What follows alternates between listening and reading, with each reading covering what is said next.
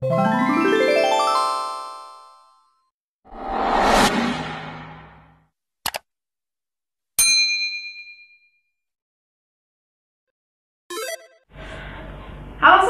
Assalamualaikum warahmatullahi wabarakatuh. Kembali lagi di channel YouTube Idapat. Di sini aku membahas seputar jualan online dan rekomendasi toko yang harganya super murah dan pastinya bisa untuk dijual lagi.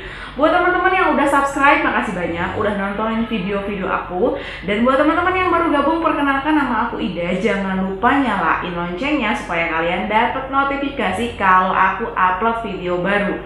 Jadi di video hari ini aku mau nge-share atau aku mau ngasih tips buat teman-teman pemula yang baru banget jualan online itu harus ngapain sih supaya jualannya itu laris atau seenggaknya ada beberapa pembeli yang tertarik dengan barang-barang yang kalian jual. Nah, buat teman-teman yang pengen tahu, simak video berikut ini.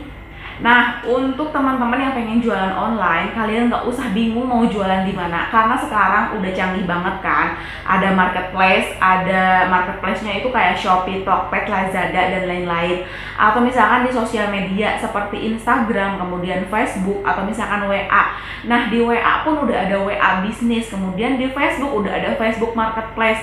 Dan ini tuh banyak banget gitu ya peluang-peluang atau tempat kita untuk berjualan online. Dan kemudian caranya gimana sih supaya jualan kita itu bisa laris? Nah, supaya kita bisa laris jualan nih, yang pertama kita harus bisa memilih produk dagangan. Nah, maksudnya produk dagangan apa sih yang akan kita jual supaya banyak peminatnya gitu. Jadi kalian juga bisa melakukan riset atau misalkan kalian bisa mencari info atau misalkan searching produk yang biasanya keluar cepat atau misalkan terjual laris tuh apa sih contohnya.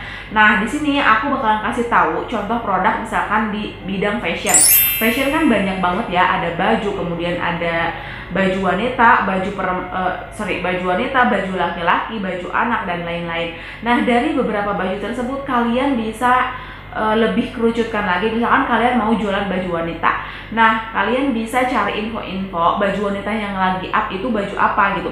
Dan itu tuh bisa dijadiin salah satu uh, apa namanya salah satu tujuan kalian jualannya itu jualan baju wanita yang lagi ngetren gitu. Jadi kalau misalkan kalian mau jualan itu nggak usah bingung, kalian bisa langsung aja search atau riset di beberapa web atau misalkan di di, di internet gitu ya. Kalian bisa lihat apa baju-baju yang lagi ngetren tuh baju yang mana kayak gitu. Baju seperti apa kayak gitu. Nah itu untuk cara memilih produk. Atau misalkan kalian mau jualan tas nih jualan tas jualan tas yang biasanya diminati tuh kayak tas yang kayak gimana gitu loh.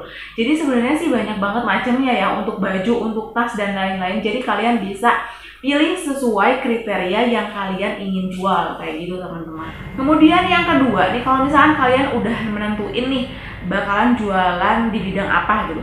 Terus yang selanjutnya itu adalah foto produk. Karena kenapa? Karena kita kan bakalan ngejual nih. Ngejualnya itu kan secara online.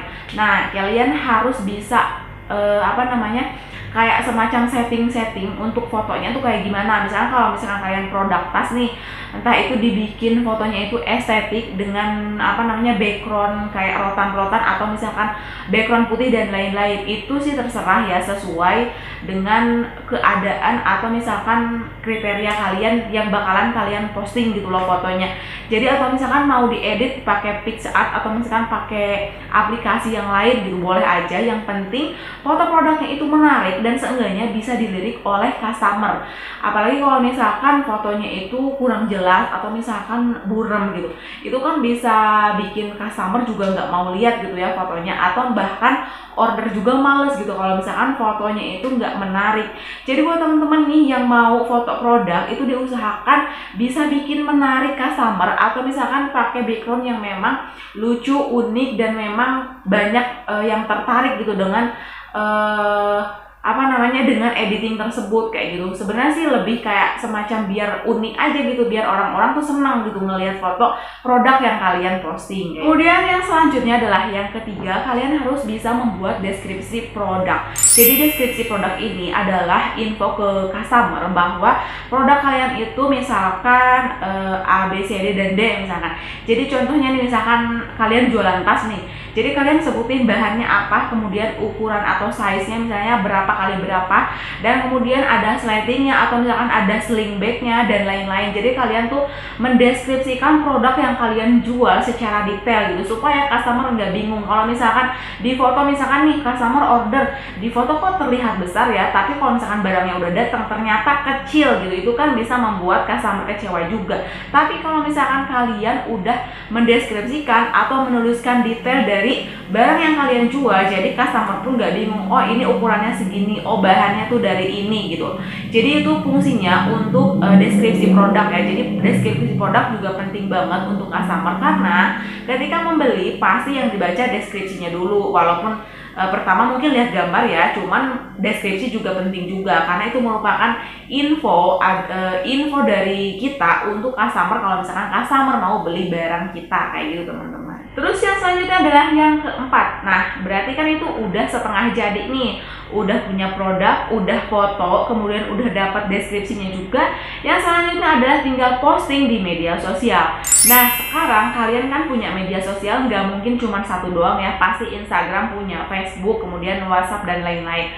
Kalian bisa sebar foto produk kalian di sana. Jadi itu disebar sebanyak-banyaknya Kemudian setelah posting di media sosial yang kalian punya, kalian mungkin bisa berminat ke tempat penjualan yang lebih luas. Contohnya adalah di marketplace. Nah, di marketplace ini kalian bisa punya beberapa marketplace. Contoh, marketplace kan ada Shopee, ada Tokopedia, ada Lazada, ada Blibli dan lain-lain. Kalau misalnya kalian mau punya empat akun sekaligus untuk menyebarkan produk kalian itu nggak masalah. Yang penting kalian siap untuk e, menjaga komunikasi dengan customer-customer di masing-masing marketplace kayak gitu teman-teman. Jadi yang penting kalian bisa istilahnya menyebarkan menyebar luaskan produk-produk kalian supaya customer pun e, lebih luas lagi gitu jangkauannya kayak gitu.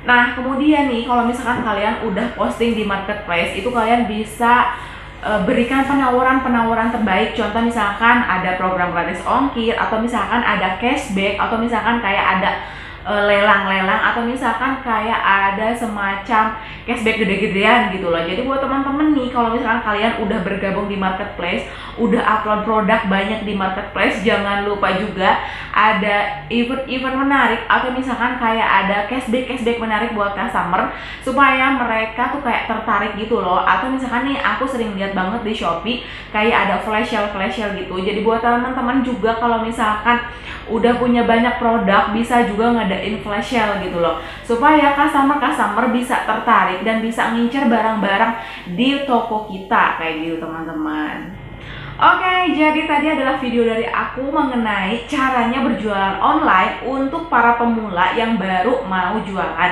Semoga video tadi bisa bermanfaat ya buat kalian semua. Dan jangan lupa like, comment, subscribe di video channel YouTube aku dan see you on my next video. Bye bye.